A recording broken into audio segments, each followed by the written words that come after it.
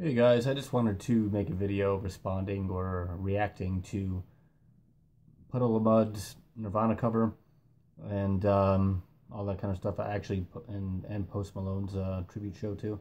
Uh, when it comes to Puddle of Mudd and comes to Wes's cover, you know everybody had their good and bad days.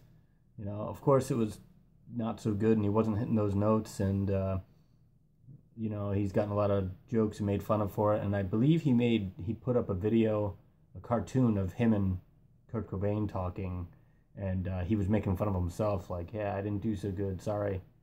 Um, but you know, he admitted it, and you know, you got to laugh about that stuff. I mean, it happens. There's times where my voice is on point, and uh, I'm doing really good and hitting those notes, but then there's days where um, it's not so much. it's a struggle sometimes, you know, and uh, sometimes it's what you uh, what you eat and what you you know he might have blew his voice out earlier or something who knows? And i'm sure he does a lot of other nirvana covers that sounded really good but nobody pays attention to those where some people pay attention to those but every babe, everybody pays attention to the failures. So i mean it's funny and the jokes are funny but at the same time like chill out about it be a little considerate you know of uh, people have good and bad days and uh, lots of anal Nirvana fans, including myself, are gonna like come down on somebody when they're all uh, when they mess up like that. But I think we should chill out, you know, chill out.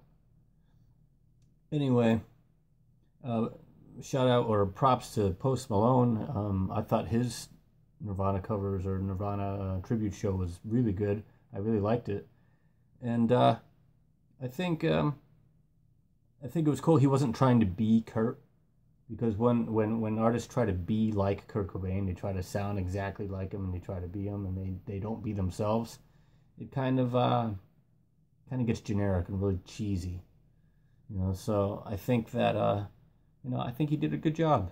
I really liked it, and I'm not too familiar with Post Malone. I like uh, I think I like some of his beats and some of his music, but um, huh anyway, that's that's my take on it overall. I've been meaning to make this video in a while for a while. Um, basically, we should chill out a little bit, you know. Peace.